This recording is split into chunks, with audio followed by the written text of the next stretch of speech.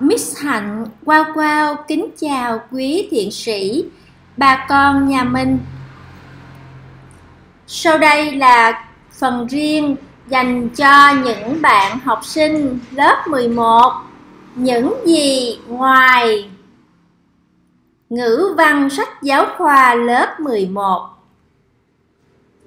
Mở đầu là phần diễn đọc tác phẩm của nhà thơ Xuân Quỳnh với tựa đề Chỉ có sống và em.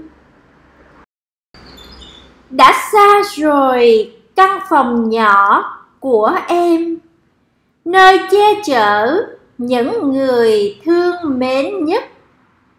Con đường nắng dòng sông trước mặt chuyến phà đông, nỗi nhớ cứ quay về. Đêm tháng năm, hoa phượng nở bên hè.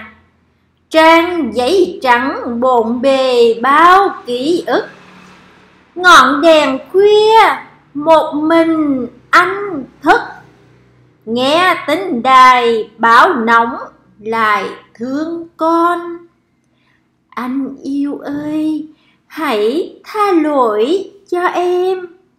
Nếu đôi lúc giận hờn anh vô cớ,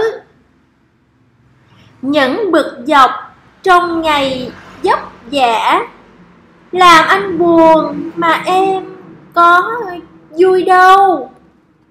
Chỉ riêng điều được sống cùng nhau niềm sung sướng với em là lớn nhất. Trái tim nhỏ nằm trong lòng ngực. Giây phút nào tim đập chẳng gì anh. Một trời xanh, một biển xanh. Và gió thổi, và mây bay về núi. Lời thương nhớ ngàn lần em muốn nói, nhưng bây giờ chỉ có sống và em để hiểu hơn về tiểu sử cuộc đời thường nhật của nhà thơ, nữ thi sĩ tài hoa, Xuân Quỳnh, Miss Hạnh Quá Wow sẽ đọc trích dẫn trong cuốn sách Cây bút đời người chân dung văn học của tác giả nhà lý luận phê bình văn học Dương Trí Nhàn. Bài viết Xuân Quỳnh. Cuộc đời để lại trong thơ. Những xúc động thường trực Người ta làm thơ như thế nào?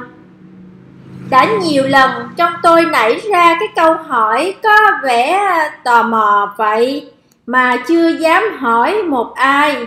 Vì nhiều lần cứ định hỏi là mọi người tìm cách lãng. May mà xuân quỳnh không lãng tránh thẳng thừng, để giúp tôi một sở thị bên cạnh bài thơ chị cho xem những quyển vở đã ghi chi chít những chữ là chữ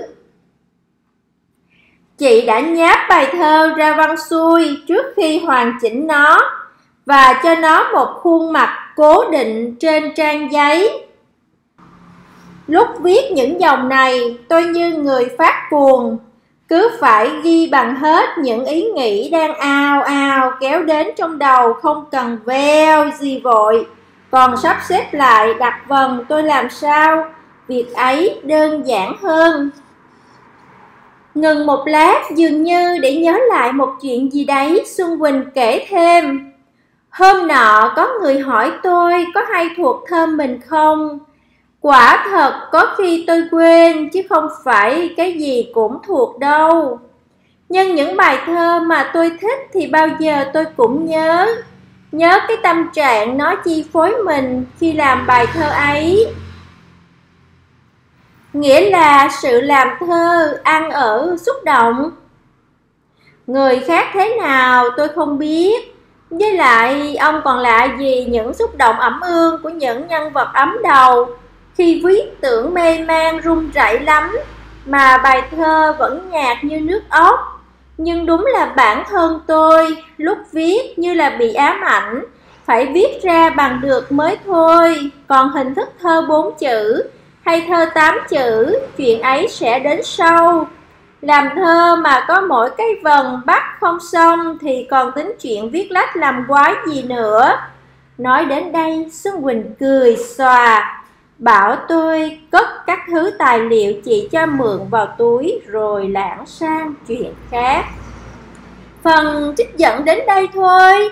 Xin cảm ơn quý vị thiện sĩ bà con nhà mình, đặc biệt là các em học sinh, các bạn học sinh lớp 11 đã chú ý lắng nghe. Xin chào và hẹn gặp lại. Chúc các bạn học tốt, thi tốt, tự tin và chiến thắng nhé. Nam Mô A Di Đà Phật